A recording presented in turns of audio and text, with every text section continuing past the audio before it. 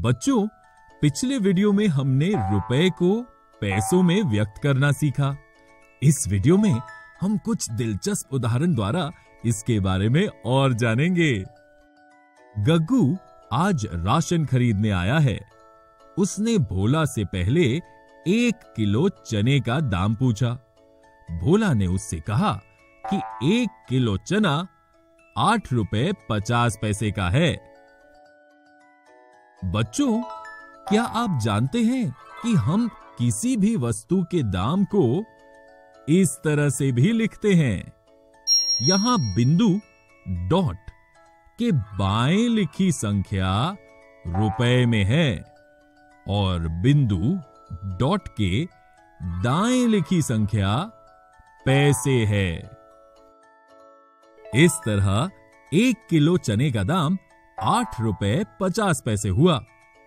और बच्चों, क्या आपको याद है कि पिछले वीडियो में हमने सीखा था कि एक रुपया सौ पैसे के बराबर है?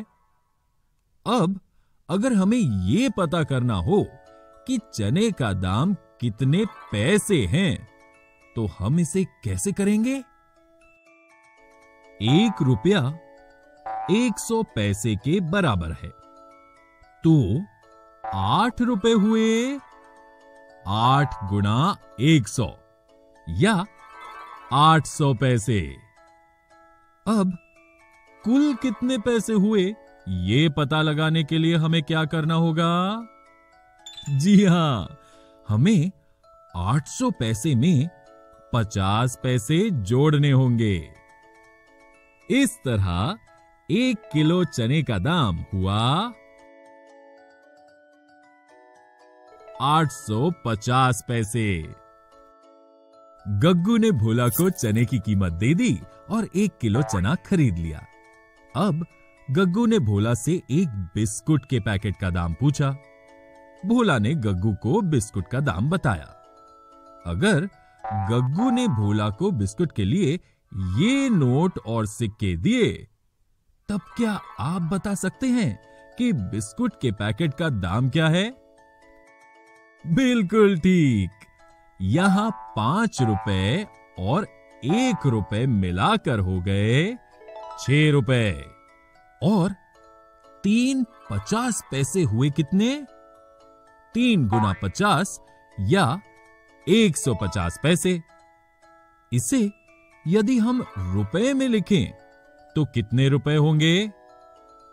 एक सौ पैसे हो गए एक रुपए। और बचे हमारे पास पचास पैसे। इस तरह एक सौ पचास पैसे हो गए। एक रुपए और पचास पैसे। अब हम अगर इसे छह रुपए में जोड़ दें तो बिस्कुट के पैकेट का दाम हुआ सात रुपए और पचास पैसे। इसे हम बिंदु का इस्तेमाल कर कैसे लिखेंगे? ये बहुत आसान है। इस तरह से एक बिंदु बनाइए।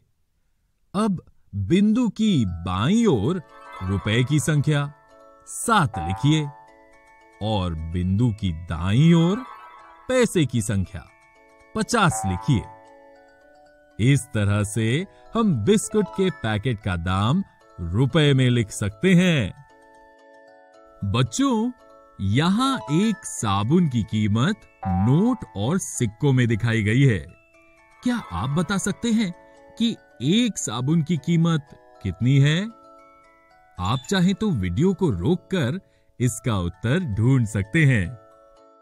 शाबाश बच्चों! आपने इसका उत्तर बिल्कुल सही ढूंढा है। एक साबुन की कीमत तेरह रुपए पचास पैसे है। यहाँ एक तालिका दी है। बच्चों, क्या आप इस तालिका को भर सकते हैं? आप चाहें तो वीडियो को रोककर इसका उत्तर ढूंढ सकते हैं। शाबाश बच्चों! आपने इसे बिल्कुल सही तरह से पूरा किया है। गग्गू अपनी खरीदी वस्तुएँ लेकर अब अपने घर की ओर चल पड़ा। बच्चों इस वीडियो में हमने कुछ दिलचस्प उदाहरण द्वारा रुपए को पैसों में व्यक्त करने के बारे में और जाना।